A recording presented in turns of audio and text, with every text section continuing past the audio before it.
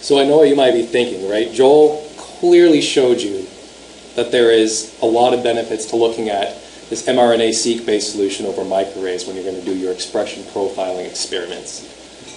And he's alluding to things that I'm going to talk about now. How can I actually access this type of data? How can I get past that just regular differential expression workflow, start to peek into some of these really interesting biological insights that he was able to give you a peek at? So that's what I'm going to talk about now. Before I get too far into that, uh, if you haven't heard about Golden Helix, let me give you a little bit of a background so you can know where we're coming from. We've been building uh, software for statistical analysis and um, really just comprehensive analysis suite for genetic data for about 13 years. So this is really where we come with a lot of strength. Um, complementing that, we have analytical services, and that has resulted in over 500 peer-reviewed publications. We have customers all over the world, hundreds of customers, and we've been very uh, happy and proud to be working with Expression Analysis as a strategic partner and kind of putting together the solution. I think there's actually a, an amazing synergy between what they're able to bring to the table and what we are, and the solution, and, and I hope you see if you use it, and as I can give you a preview of it, really ends up being uh, more than the sum of the parts of our collective experience. Okay, so here's a little bit of an overview before I kind of, uh, I'm going to give you a, a, little breakdown of what this cloud-based solution that, that Joel mentioned is. I'm going to actually go through each of also some of the other tools associated with this. And before I do that, let me just kind of define the verbiage down here. So primary, secondary, and tertiary analysis. Joel alluded to this a little bit as well. So primary analysis we're defining as that creating of those base calls and those quality scores that are coming off of the, um, the sequencing machine. This is all going to be well handled. You know, you expect essentially to start here. You get your FASTQ files. Secondary analysis is that single sample oriented workflow where you're taking that single sample, you put it through this pipeline to get that deliverable of we've, we've done the alignment, can do the quantification, there might be that variant calling, QC statistics, just giving you all that output that you can put in a pipeline and automate it. Right? Now you want to bring multiple samples together and do that sort of uh, experiment at the, at the level of, of uh, you might specialize to the, what type of experiment you're running. That multi-sample analysis we're just calling tertiary, and we have tools for that because you, you can imagine just getting that standard deliverable is not where we want to leave you off. So we wanted to build this solution in collaboration with EA that is comprehensively going to give you uh, the tools to get to that biological insight. And we're not going to force you to use any of all, all of these tools. As he mentioned with translated cell files, you have a comfortable workflow you want to look at, but there's so much more to see, and we want to make you sure that it's not a barrier to get to that extra information just because um, the complexity of or the, the, the, magnitude of the data might be in your way. Okay, so let's focus in on this, uh, this cloud-based solution. So why did we build this as a cloud-based solution? There's a couple key advantages here, right? So if we have the set of deliverables that we're going to provide to you, if we make all of those programs, and there's going to, I'll, I'll, drill down a little bit, but I'm going to stay pretty high level here. Um, all those programs involved in that, if we can put those in a cloud-based environment, you get the, the advantage of all those intermediate results, all those potentially large files that are generated. They're in a, a single storage solution, and you can choose to actually extend the storage for as long as you want if you want to keep your data up there. Um, and that can help in just having that central location for your collaborators to come in. They may want to share some of this data with somebody else. But there's another thing, is now those tools are optimized for the cloud environment. You have your own personal playground. You can go in there and be like, okay, I want to want to rerun this with a different set of um, parameters. Maybe I have a different annotations for genes that I would like to look at. So I'll show you a little bit about how this is enabled. And then finally, it's a good hub for breaking out to these tertiary analysis tools. And then I'll also, as I go through each one of these, give you an idea of what uh, we also add by just having this cloud enabled, we can build on that and focus on the strengths of both cloud and desktop-based solutions. Okay, so Joel mentioned the deliverables that we are uh, going to provide in the solution. They're going to be produced by the secondary analysis pipeline on the cloud. If you've been attending talks these last couple days, I'm sure you've seen a lot of these pipeline-oriented things. They have lots of you know, diagrams, and as Joel mentioned, there can be a lot of uh, complexity to it. So let me just start with the high level. Um, and as we are optimizing and verifying and adding new things to it, there may be more pieces of uh, software that go into these boxes. but this is kind of uh, from the conceptual phase, the, the, the basic components. You start with your FASTQ files. You're going to be filtering those down. There's going to be reads that you don't need to be looking at because they don't pass quality filters or they don't um, align to the proper genomes. You're going to be aligning it, doing quantification to get that transcript abundance, and then you're doing that on the single sample level, and to get you to the point where you have something for going into a tertiary tool, we'll join all those samples together into a nice tabular format. So there may be hundreds of programs out there that may fit into each one of these boxes. We're taking care of that for you. We're making sure that we can validate those and make them in a high throughput cloud environment where we can uh, make sure that they're not going to you know, break halfway through, etc. So this is something that we're, we're, we're putting together to make sure that it's uh, the analysis and that standard deliverable as well as coming back and looking at each of those components is, is pretty straightforward. So what does this end up looking like from, the, from your perspective, right? You've getting this notification that your sequencing is done. Your standard deliverable is being computed. You get an email with a link saying, it, here's your results. Here's your results. So in the end, we're going to provide as much detail as you'd like to drill down here. But at the end, there's going to be uh, all the information about what actually ran, how long it took, some of the intermediate files. The point is, from here you can drill down as much as you'd like, but you could also just jump right in and grab that translated cell file or download that tabular quantified, um, Uh, the quantification at the, at the gene or the transcript level and then you can pull it into tertiary analysis tools or just use this as a staging area while you bring in more samples and then do some more analysis. So it's going to be a pretty straightforward interface. But like I said, it's not just about receiving data, it can also be about going in and asking more questions. And without having to, you may also be thinking about, okay, well, I get six samples today and I, I, I ran the deliverable, and hey, maybe I'm getting some more samples in six months or 12 months from now the pace of things going, we're going to maintain this as the best of breed uh, methods and, and, continue to use EA's expertise to uh, make sure that there's that high validity, and being able to reproduce these, um, uh, these reads on a, on a technical level. Um, so you may want to come back and rerun samples that you've, you've stored before um, so you can compare those samples in the same group. It's very important to make sure you're doing all this in the same computational pipeline when, you when you go down to the level of um, doing the differential expression type experiments. So with that kind of in mind, we're also building this as this, uh, this uh, platform for rerunning analysis.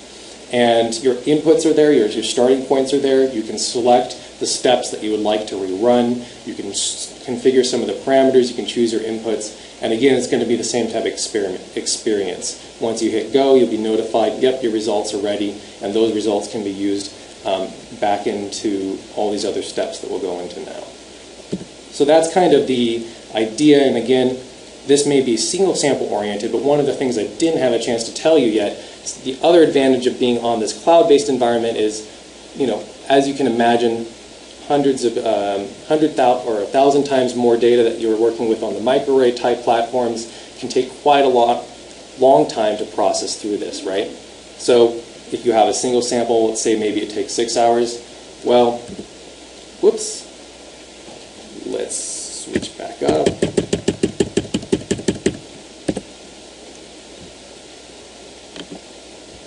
Trigger happy with the keyboard there. And Joel's slides. I'll get back in here. Thank you very much. All right, so if you have a single sample that might take six hours, um, 100 samples is you're going to take six hours. A thousand samples probably just takes six hours, right? We can use that elastic nature of the cloud environment, fire up as many machines as we need to, pile them all through at the same time, bring the results back together. Um, so there's, there's that, that advantage as well. And if you're thinking about handling this type of data on your local compute cluster and waiting in line, you immediately know what that advantage means in, in real turnaround time. So I focused a little bit down at the level of the cloud analysis and, and pulling back up, let's go into some of these tertiary analysis tools. Some of these are, are tools that um, you, can, you can look on, you can use if you'd like to, to and, and they're not necessarily going to be forcing you to use these tools, but I can show you that this is going to make all of those steps to get from that input file to that biological significance under one roof extremely straightforward and familiar. So the analytics that we're going to, to build for running this type of differential expression on this data, we can take advantage of what Golden Helix has been doing for the last 13 years. We've been building um, our flagship, flagship product, uh, SNP and Variation Suite 7, has a lot of these uh, very extremely useful core features to utilize here. We have data management capabilities. Anybody who's done a number of experiments knows that one of the uh, one of those limiting factors is you have data in format A and B and C, and you just need to be able to bring them all together and, and do that sort of normalization of the data. We handle that very well. We have all these robust statistics that we've built into our platform, visualization tools, and scripting and extension. And all these base features are accessible through experiment-specific modules. So our software allows you to say, hey, if I'm going to be doing this type of experiment, this type of experiment, let's just choose those modules. I don't need anything else. That's fine. We have modules for SNP-based and CNV-based association analysis, uh, RNA-seq rare variant analysis, and now we're adding to that the RNA analysis that is going to be designed specifically to support this, the, the workflows coming out of the secondary analysis pipeline. So really what's going to come down to is your data is in this cloud environment, you can open up SVS, you put in your credentials, and essentially with a click or two, you have that tabularized format data in a familiar spreadsheet interface. And from here, you can do all kinds of analysis based on our platform, but let's just walk through a couple of the very familiar things you might do. We're going to pull up a differential expression analysis tool here. This is DESeq, and it's actually not just your regular um, test statistics that you might run on a microarray. It's going to take into account the, the variance uh, and the types of uh, behaviors of this type of data um, versus just standard intensity-based data coming off of a microarray.